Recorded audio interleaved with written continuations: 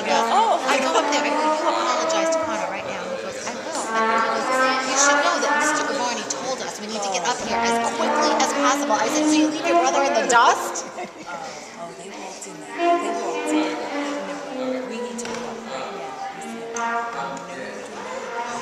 He said, We haven't even done the school.